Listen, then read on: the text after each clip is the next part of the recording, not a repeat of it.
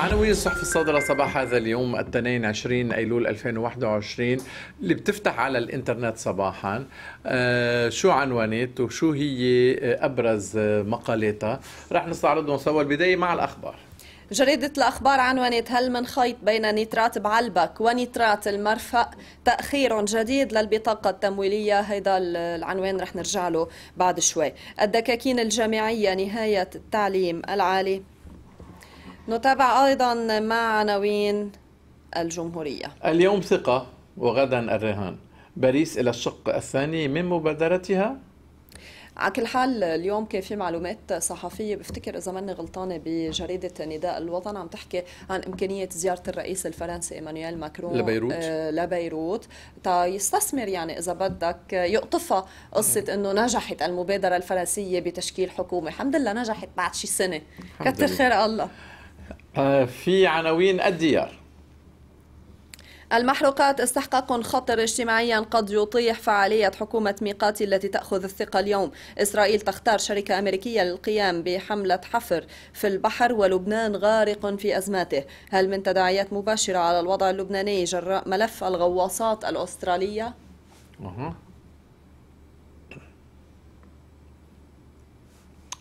في البناء وزير الدفاع السوري في عمان إعلان أمريكي برفع الحظر السياسي بعد الاقتصادي.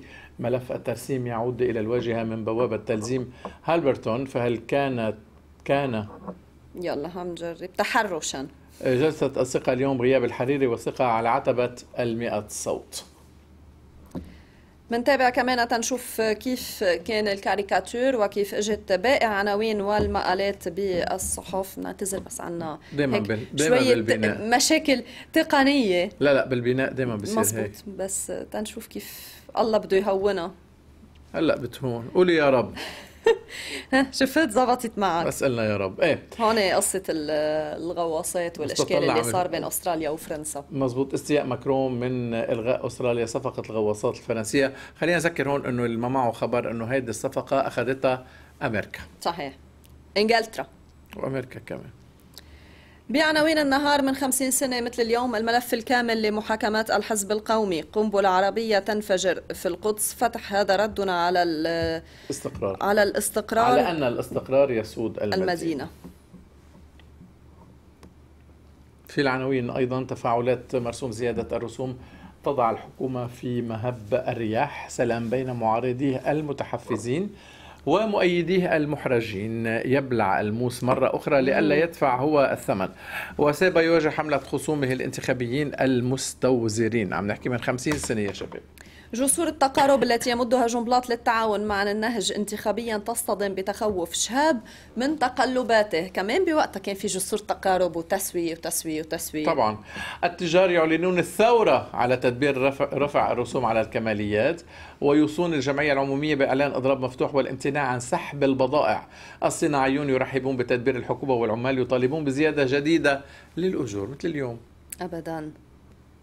الصيدليات تعلن حربا مكشوفة على المستوردين وتطالب المسؤولين بتأميم استيراد الأدوية. إضراب رمزي للصيدليات الثلاثاء لمدة ساعة. هون بس خلينا نشير إلى أنه نائب الصيادلي غسان الأمين طلع من كم يوم آه، وقال إنه مفترض الأدوية بالصيدليات تنخفض أسعارها بين 20 و 30% لأنه كانوا عم بيسعروا على مؤشر 14000 وشيء مع انخفاض سعر الصرف آه، بالسوق السوداء. رجع وزير الصحة عمل مؤشر جديد هو سعره تقريبا 11750 يعني مفترض نشوف الانخفاض. إن شاء الله نشوف الانخفاض بالصيدليات ما يكون مثل انخفاض السوبر ماركت اللي بنسمع عنه ما بنشوفه. أنا بس يا أستاذ غسان أستاذ بحصلي يا ريت هيك بتاخذنا بتهدينا بإيدنا هيك إعلامية بتفرجينا شي سوبر ماركت عن جد الأسعار عم تنزل. خبرونا. قال ابتداء من اليوم. هلا آخر المعطيات إنه ابتداء من اليوم رح نشوف هيدي النازله ان شاء الله. رح اخذ loupe اليوم إيه. وأطلع تشوف الأسعار. 250 ليرة مثلا نازلة السعر كثير منيح بكون 27 ليرة. آه 27 معمل لبناني فرنسي لعصر التفاح اللبناني. ينتهي إنشاؤه صيف 1972 ويعصر 120 طنا في اليوم. أزمة تصريف الإنتاج الزراعي تنتظر عودة الوزير الذي يعني ما أشبه الخمسين سنة الماضية باليوم. صورة غير زاهية عن أوضاع الإدارات العامة. يعرضها التفتيش ومجلس الخدمة على الرئيس فرنجي معظم المديرين العامين يهملون واجباتهم. نعم.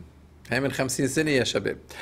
كاريكاتير بيير صادق كيف من الطائف لليوم؟ مع وال... كل شيء حشو صار لإدارات. الدولة.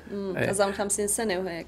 بالتضحية بالتضحية والإيمان نبني الأوطان بالمسكنات والحبوب نحمي الجنوب. مش قليل. رح نتوقف عند مقالين هيك لفتونا اليوم بالصحف. المقال الأول هو من صحيفة آه، الجمهورية تتعلق بالبطاقة آه، عفوا الأخبار. بيتعلق بالبطاقة التمويلية تأخير جديد للبطاقة التمويلية.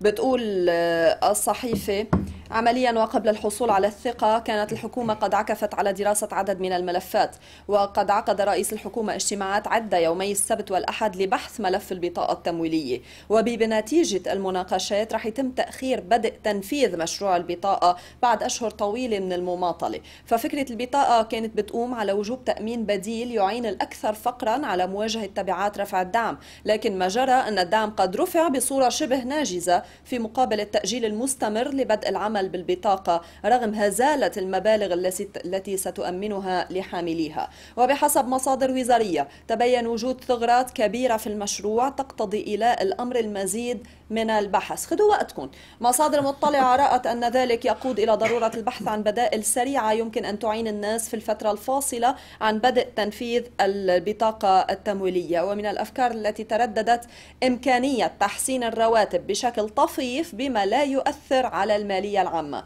وإلى حين اتضاح الرؤية فيما يتعلق بالبطاقة تؤكد مصادر مطلعه أن الأولوية الحكومية ستكون إيجاد حلول سريعة للأزمات الأكثر الحاحا ولا سيما أزمتي الكهرباء والمحروقات. خلينا نشوف كيف رح يعني تنحل أزمة البطاقة. إذا الحل تحسين رواتب يعني كمان بذات الوقت ما بدنا ناخد بإيد وندفع بتاني إيد. ما يكون تصحيح الرواتب يعطي إلى مزيد من التضخم بهذا المجال. هيدا كانت إيه بعد عنا مقال فينا نتوقف عنده ولكن بعد شوي. بعد شوي كنا عم نحكي عن رفع الدعم ومحروقات وكل هاي التفاصيل. خلينا نشوف آه، عضو نقابة أصحاب المحققات آه، جورج البراكس آه، شو وضع البنزين صباح هذا اليوم. طوابير على الطرقات لا تزال هي هي. صباح الخير أستاذ جورج. صباح النور لكم للمشاهدين الكرام. إن شاء الله شكرا. تكون أسبوع موفق وبيجيب لنا الانفراجات. بيعتمد عليكم هالشيء مش علينا. لا يا ريت بيعتمد علينا. لو بيعتمد علينا نحن كنا ما خلينا ولا سيارة توقف بالشارع. بيعتمد على اللي بإيده القرار إنه يقدر يستورد كميات كافية للبلد وإنه ما ينطر البواخر قاعدة بالبحر لحتى تاخذ مفاقاتها كم باخرة في بالبحر هلأ؟ هلأ في عندك وحدة موجودة وفي وحدة بتوصل بكرة وحده بتوصل بعد بكرة. هودي بيحملوا تقريبا فوق ال 100 مليون لتر بنزين. نحن ناطرين اليوم. مبدئيا مع البواخر الموجوده بنهدينا بعد أسبوعين آه، بكل الرياحه بس نعم. نحن ناطرين. هلأ تصير البنزين مش المهم يكون بالبحر أو يكون بالبواخر أو بالمستودعات بده يكون المهم يكون بالمحطات ويتوزع للمواطنين. ما ننسى نحن إنه نحن بشلل عام. فيك تقول منك بشلل عام صار لك ثلاث أربع أيام. وهذا كنا عم نحذر منه وبح صوتي الأسبوع. له حذر إنه أربع خميس بدل ما في ولا نقطة لازم نوصل للشرعان وصلنا له وما حدا أخذ الإجراءات اللازمة مسبقا لحتى تنحل. هلأ المهم نحن اليوم نحن هون. شو بده يصير؟ في بواخر موجودة بس الشركات المستوردة لهالبواخر عندها فواتير مع مصرف لبنان عن فواتير سابقة already فرغتها وبعتها بالسوق للعالم بس بقى بدت بعد. ثمنها هيدي مجبورة تقبض المصريات من مصرف لبنان لتدفعها للشركة المورده لها لتسمح لها تفضي الباخرة الثانية مبدئيا مصرف لبنان آه واعد إنه اليوم بده يحلحل هودي المواضيع واصلا ما في مشكلة فيهم. هي قصة تأخير بس يعني كل مرة بتت... قصة تأخير قصة وقت لا أكثر ولا أقل. فإذا اليوم مشي الحال وانعطت آه، وانحلت هذا الموضوع مبدئيا بدات المفروض تنحل. بعد آه، رح نلاقي تفريغ كمان آه، باخره اليوم وبكره في باخره والبعدها باخره مبدئيا لازم نبلش نشوف توزيع السوق المحلي اليوم بكمية قليلة. بكره بتتحسن بعد بكره بتتحسن. بنشوف تباعا ابتداء من بكرة محطات مسكرة رح تفتح. وإن شاء الله إن شاء الله إن شاء الله نروح شوي بشوية انفراجات من هلا ل 10 15 يوم. الاربع في شيء زودة بالأسعار؟ ما في تغيير آلية لأنه قالوا لآخر الشهر. هلا الجدول الكلاسيكي حكما المفروض يكون في جدول كلاسيكي بس ما بعرف بعده الوزير بعده وزير جديد جاي على وزارته بنتمنى له كل التوفيق. بس إنه مبدئيا بعد مش عارفين كيف كيف التفكير بس لازم يكون في جدول. أكيد بس ليش انحكى؟ بس أستاذ جورج ليش انحكى إنه الأربعة رح نروح إلى مرحلة رفع الدعم كليا؟ هن اليوم الدعم على أساس 12000 الأربعة بتتحرر الأسعار يعني قديش بيكون السوق السوداء بتتسعر أسعار المحروقات؟ عم تقول إنه لا مش مش مفروض هيك مفروض لآخر الشهر نضلنا على 12000 صح؟ ضل عندنا أربعة يعني. يا ست ريتا بها بهالأيام بلبنان مع السلطة ما فينا نقول شيء بيجوز. ما فيك تقولي شيء لأنه ما في وضوح. طب ما عم نصرخ عم نقول رايحين على رفع دعم، أنت بتعرفي طريقة رفع الدعم كيف بده يصير؟ هل بتعرفي كانه بكرة بصير تشتري بالليرة أو بالبنزين أو أو بالدولار؟ لك وين المازوت شو صار؟ يا أخي قولوا لنا شو بدكم تعملوا؟ إذا رايحين على رفع دعم وفقا للآلية المعتمدة حاليا وكله بالليرة اللبناني ومصرف لبنان هو بده يقدم الدولارات. على راسي وعيني. قولوا لنا إياها وهيدي بالوقت الحاضر فيها بلبلة أقل. مصرف لبنان بضل يامن دولارات حتى لو رفعتوا الدعم بصير التنكي إذا عملتوا الدولار ب 15000 بصير التنكي ب 210 215 ما في مشكلة على هذا الموضوع. عظيم. إذا بدكم تقولوا لا مثل المازوت أنتم روحوا حررنا الاستيراد وأنتم روحوا أمنوا الدولارات. تعوا على الطاولة في اليات جديدة بدها تنعمل. لحتى نشوف كيف بدنا كيف بدنا نتعاطى بالدولار. هلأ المازوت بالدولار. شو بتعمل إذا رحت بنزين على على محطة قلت له بدي تنكة مازوت فيك تلاقي؟ ما فيك تلاقي. البنزين اذا إذا بكرة صار حرروه سعره صاروا الشركات هن بده يستوردوه بدولاراتهم. بكرة بيقول لك أنا ما عندي بنزين إلا بالدولار بدك تروح تشتري من الشركة مستوردة بالدولار. شو بتعملي أنت؟ عندك محطه بنزين. تاخذي الدولارات بايد بايدك بتشتري فيها تيجي لتبيع المستهلك. لا الاقتصاد لا. في جدول تركيب أسعار بدك تبيع بالليرة اللبناني عظيم. بأي دولار وكيف؟ وكيف بده يطلع الجدول؟ بأي عموله نرجع لمشكل بنكون رفعنا الدعم علقنا الشركات والمحطات مع بعض ورجعنا للمشكل اللي قلع بال 2019 المفروض نقعد على الطاولة ونلاقي حلول لهودي لهيدا الموضوع؟ لك انت يا أستاذ عبدو يا مدام ريتا معكم أنتم بالذات انت فيك تقول انه صار لي أكثر من سنة ونص أنا أكثر آه، آه، أو سنة.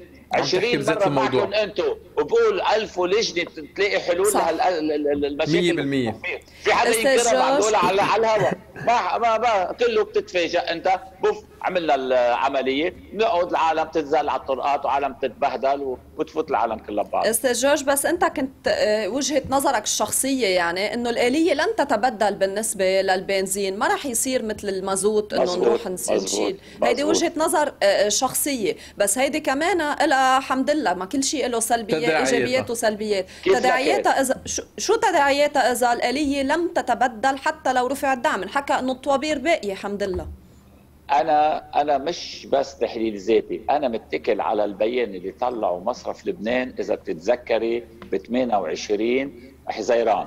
نعم. واللي على أساسه فخامة الرئيس بعت ورا الحاكم وبعت ورا مجلس الدفاع وعملوا آلية 3900 تتذكري شو نعم. قال عملوا آلية 8000 شو قال وقتها؟ طلع بيان وقال ابتداء من من من اليوم من بكرة أنا ما بقى راح آه، أصرف الاعتمادات إلا وفقا وفقا لنفس الآلية بس على سعر صرف الدولار حسب السوق شيك هو نعم. حدد ببيانه وقال عملا بالاليه المعمول بها حاليا بس على سعر السوق. أنا بتكل على اللي قالوا مرت الماضي انه يكفي بهيدا. اثنين هيدي الآلية رفع الدعم. قلنا رفع الدعم رح نرجع. رفع الدعم بيصير بطريقتين يا وفقا للآلية مثلا هيدي المعمول فيها مصرف لبنان بيامن الدولارات يا بيقول مصرف لبنان ما لي دخل روح أنتم دبروا دولاراتكم بحر الاستيراد وفقا لهي الآلية عندها إيجابياتها وسلبياتها. إيجابياتها إنه ما بيصير في ضغط على على السوق السوداء للدولار لنجيب دولار. وهيدا بيسمح لمصرف لبنان يضل مسيطر على سعر صرف الدولار. لما يصير في ضغط كثير بس بنفس الوقت مفروض مصرف لبنان إذا بده يشيل الطوابير من من الشارع بده يأمن اعتمادات كافية لتستورد كميات تكفي حاجات السوق. ويعطي كل الشركات اعتمادات بنفس الوقت مع بعضها. لأنه إذا ما أعطيت الشركات اعتمادات مع بعضها ما فيها كل المحطات تفتح لأنه في عندك شركة بآخرتها فرغ